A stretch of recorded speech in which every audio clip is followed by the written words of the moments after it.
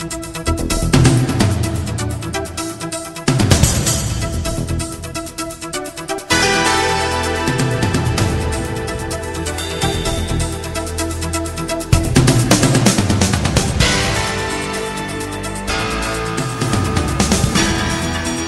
buenas noches, bienvenidos. Este es el resumen de noticias de la televisión pública. Resumen de noticias de viernes. Ya empieza el fin de semana y nosotros estamos aquí muy temprano. Hoy apenas eh, un cuatro minutos pasaron de las 10 de la noche.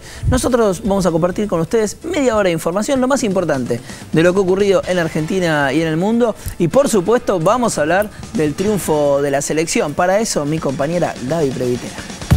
Por supuesto, porque acaba de terminar la selección argentina de enfrentar a Perú en el último partido de eliminatoria sudamericana como local. Es el anteúltimo. En un rato estaremos repasando cómo queda la selección, que de todas maneras ya está clasificada, y quién es la otra selección que ya consiguió su pasaje a Brasil.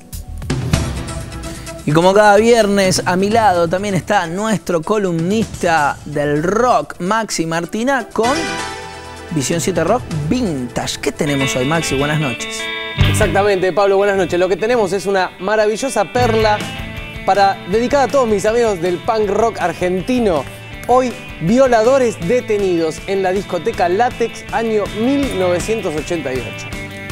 Bueno, para no perdérselo sobre el final de este programa, la maravillosa columna de Maxi con esas perlitas que estamos encontrando en el gran archivo de la televisión pública. Comenzamos ahora sí con la información, con un tema... Eh, triste. Eh, el peor desenlace para Araceli Ramos fue encontrado su cuerpo en Villa Madero. Se hizo ya una primera autopsia. Se habla de asfixia por estrangulamiento. Entregaron el cuerpo de mi hija. Eh, como yo le dije, agradezco a muchas personas que yo sé que no te permiten ver un cuerpo en la morgue, pero yo pedí por favor verla, que yo no la quería despedir en un cajón cerrado. Porque yo voy a tener fuerza y voy a seguir luchando como una leona por mi hija. Me tocaron a una hija. Esta persona no va a salir de ahí adentro, no va a salir. Yo me voy a acordar de mi hija así como yo me acordé cuando la tuve. Esta es la foto de mi hija cuando era bebé y esta es la de ahora. Así yo me voy a acordar de mi hija. Y yo no voy a perder la fuerza, no la voy a perder. Lo único que pido a los medios, no me dejen sola. Y a la gente, no me dejen sola porque yo no quiero que salga de ahí. No quiero que salga de ahí.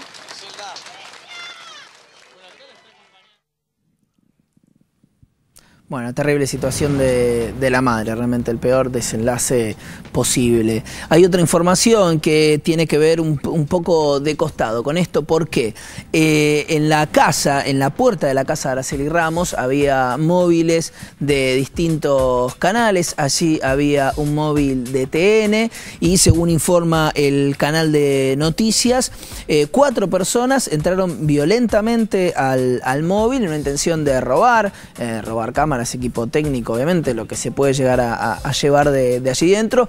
En un forcejeo terminó baleado uno de los técnicos que estaban haciendo la, cobertura periodística. Por supuesto, ojalá que, todo sea, que todo salga bien. Está en este momento hospitalizado.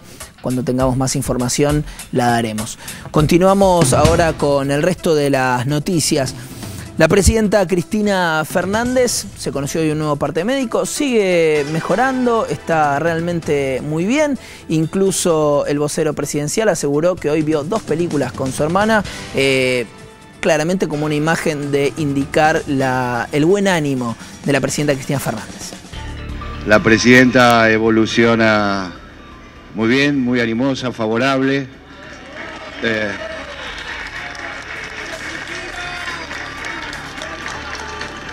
ya camina en su habitación.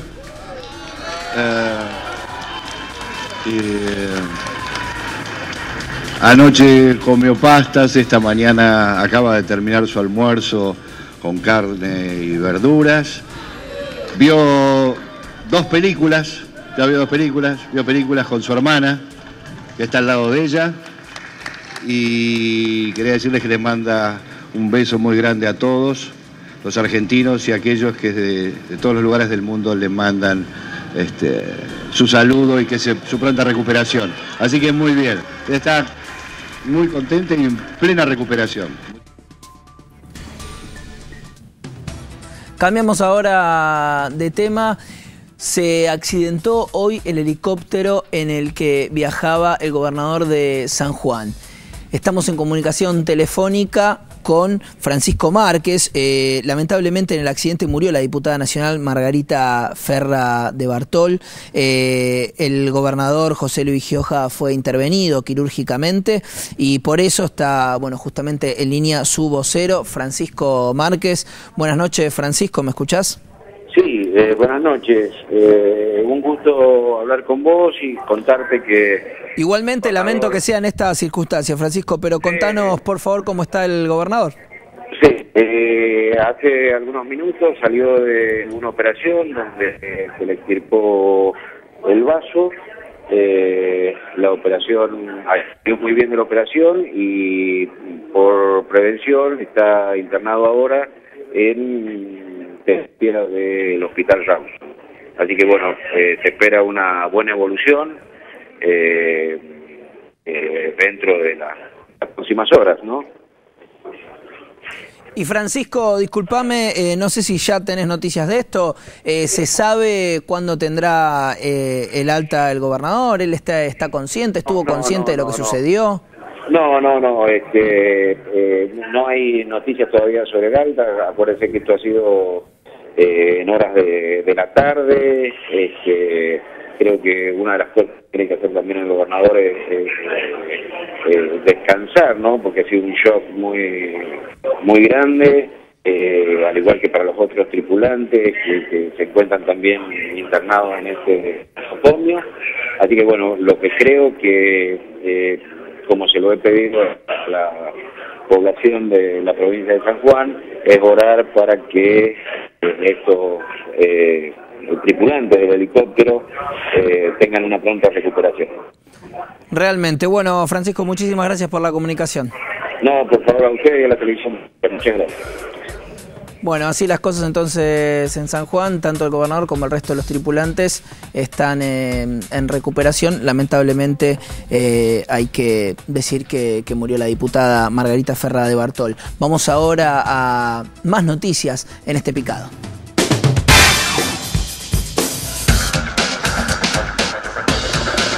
La automotriz alemana Mercedes-Benz expondrá el martes ante la Corte Suprema de los Estados Unidos, en una audiencia pública, por la desaparición de 14 operarios de la filial argentina durante la última dictadura cívico-militar. El máximo tribunal deberá decidir sobre la competencia de la justicia de ese país en el caso presentado por familiares de desaparecidos. El gobierno y el organismo acordaron una nueva estrategia de créditos por 3 mil millones de dólares para los próximos tres años estarán destinados a financiar el desarrollo de áreas clave en la salud, educación y desarrollo rural. El Premio Nobel de la Paz 2013 fue otorgado a la Organización para la Prohibición de las Armas Químicas, OPAC, un organismo respaldado por la ONU por sus esfuerzos para eliminar armas químicas. Comienza un nuevo fin de semana largo, más de un millón 300.000 argentinos se van a mover por los distintos destinos turísticos de nuestro país. Cuéntenos, señora, ¿dónde viaja? Santa Teresita. ¿Aprovecha el fin de semana largo? Sí, aprovechamos el fin de semana largo, tenemos nuestro lugar privado para, para pasarlo bien. Sí, sí. ¿Con quién viaja? Con mi nieta. Para muchos el clima no es lo más importante, sino descansar y relajar la mente. ¿Dónde viajan? A Carilo. ¿No de vacaciones? Sí, nos vamos cuatro días. ¿Aprovechando el fin de largo? Claro, se nos ocurrió ayer. Ayer dijimos, vamos, bueno, dale. Y nos vamos. Rápidamente se decidieron. Sí, porque si lo pensás, no te vas. Siempre algo para hacer en Capital hay. ¿Dónde viajan? A Junín. ¿Por qué? Porque yo soy de ahí y estoy estudiando acá. Entonces ahora que fin de largo, me voy. Aprovechan un poco y visitan a la familia. Claro, sí. ¿Qué piensan hacer allá? Eh, y estar con mi familia, con mis amigos que están allá en Junín. Y nada, eso. Disfrutar a la familia. Claro, disfrutar, sí. ¿Costó conseguir el pasaje en micro? No, no, eso sí, tuvimos que sacarlo más temprano porque quedaban pocos lugares. En un acto en Tecnópolis en el que se recordó el cuarto aniversario de la sanción de la ley de medios audiovisuales, estuvo encabezado por el vicepresidente Amado Boudou. Allí se reclamó por la aplicación total de la ley. Es una ley que surgió del trabajo fecundo, horizontal, diverso y plural de miles de reuniones para pulirla. Es una ley que el Poder Ejecutivo Nacional, nuestra Presidenta, envió al Congreso de la Nación. Es una ley que fue votada por grandes mayorías en ambas cámaras. ¿Alguien me puede explicar cuál es la ilegitimidad o inconstitucionalidad de una norma que ha pasado por todos estos estadios antes de ser aprobada? La verdad, Martín, es inexplicable. La justicia puede revisar la constitucionalidad de la ley, está bien que así sea, pero no tardar cuatro años. Entonces es importante que se resuelva esto porque se genera una situación de gravedad institucional. Bueno, esperamos entonces que se resuelva, que podamos aplicar la ley y que la democratización de la palabra se pueda profundizar, qué es lo que necesita la Argentina, para que estén todas las voces, las que nos gustan, las que no, las que están de acuerdo, las que no. La Argentina es multicolor, diversa, plural, todo eso tiene que poder expresarse. Son cuatro años en que los argentinos logramos dejar atrás esa ley de la dictadura y cuatro años que venimos en la construcción de un nuevo mapa mediático más justo, donde la diversidad de voces, de mensajes, va a poblar y va a construir una democracia mucho más sólida.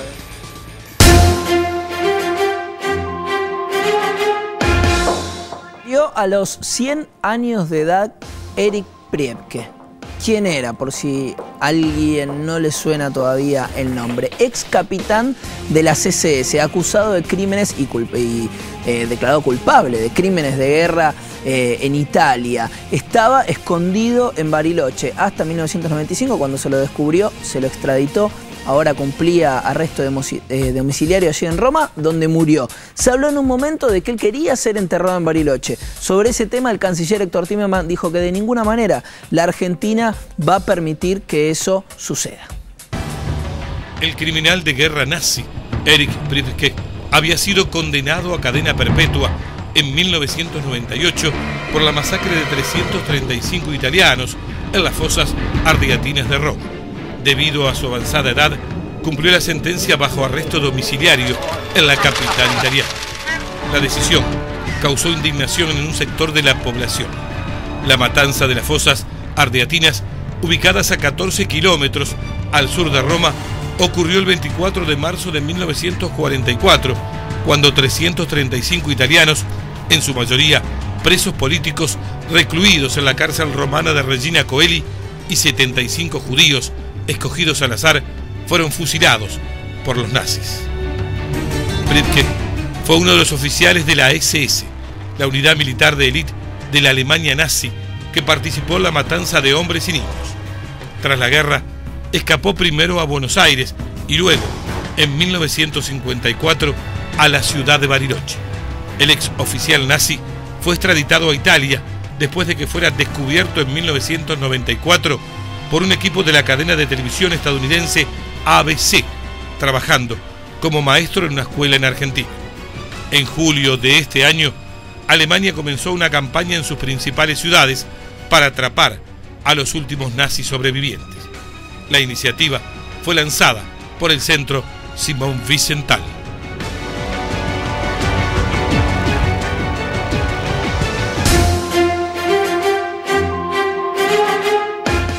Pese a las reuniones que mantuvo el presidente Barack Obama con líderes republicanos, todavía no hay una definición sobre la disputa por el límite del endeudamiento público que tiene paralizado a los Estados Unidos y que de no ser resuelto antes del 17 de octubre. Los expertos dicen que el país entraría en default con graves consecuencias para la economía mundial. Los republicanos habrían presentado una propuesta de incremento temporario del techo de deuda, pero a cambio exigen la promesa de que se podrá abrir un diálogo con Obama sobre el presupuesto y el recorte de gastos.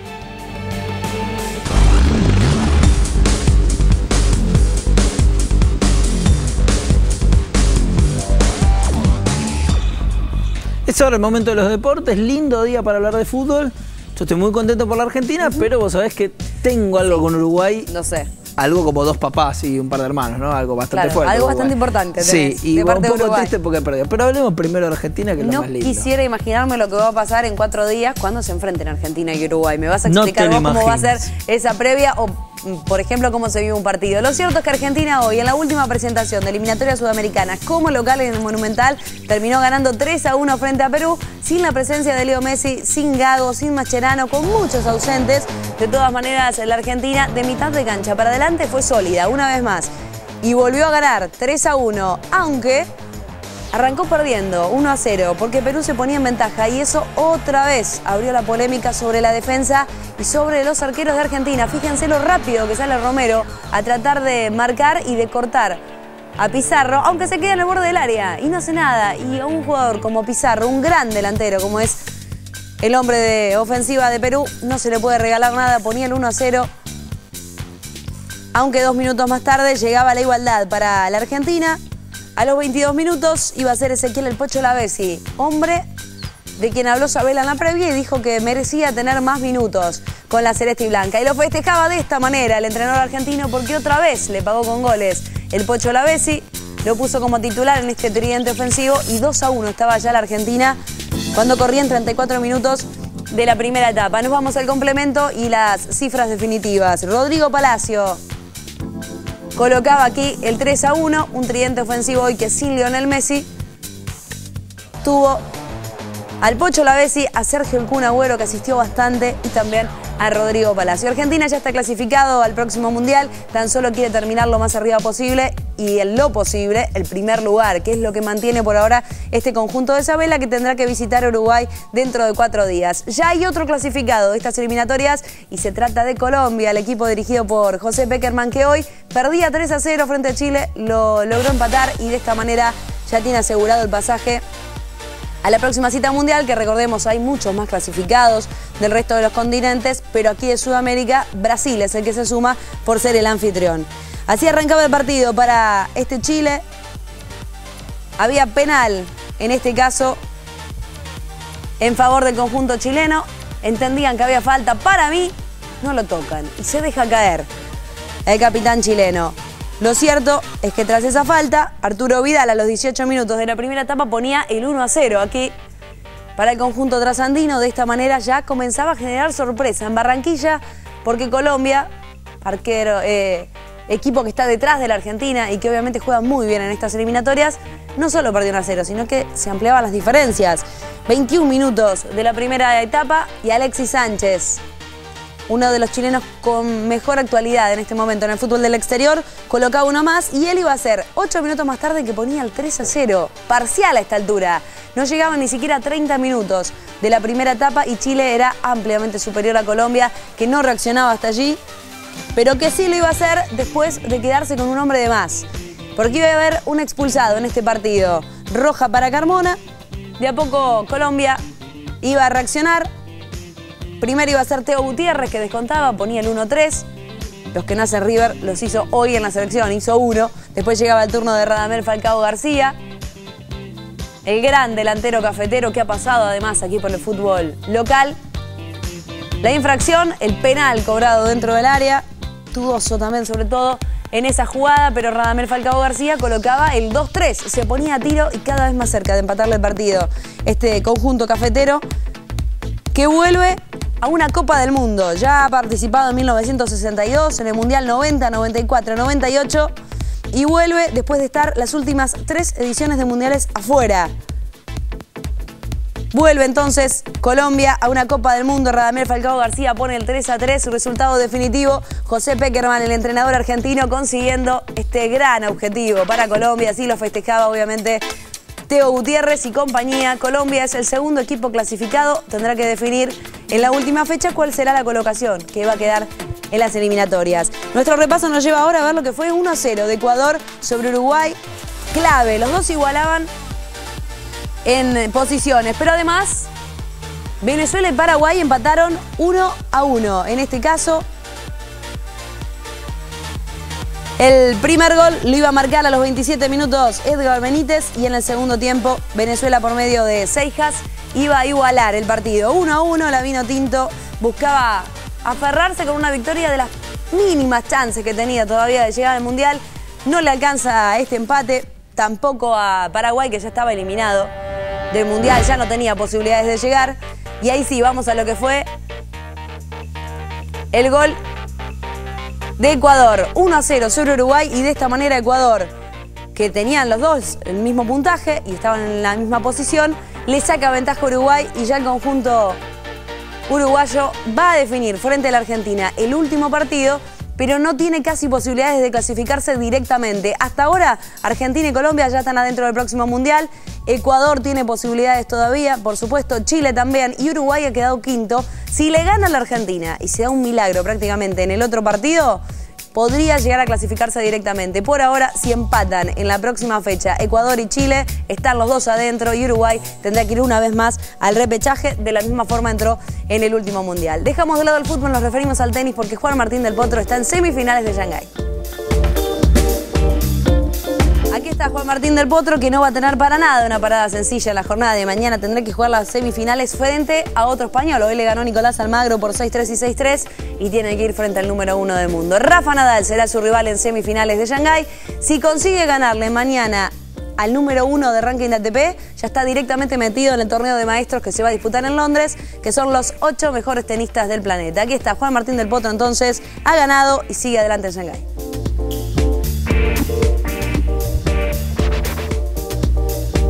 Vamos, Delpo. Eh, es el momento de la polémica del día, chicos. La polémica de hoy tiene que ver con Lilita Garrió, Otra vez. con un tuit de hoy que ahí la vemos. Escondida eh, debajo de un auto, dice, acá estoy en San Lorenzo, en Salta, escondiéndome de Fernández, arroba a, a- a Aníbal Fernández. Fíjense, ¿eh? Lo que, a ver, generó polémica, eh, chiste, de todo la foto de Carreo. Se puede decir cualquier cosa, Lilita. Lo que no se puede decir es que no tiene sentido del humor.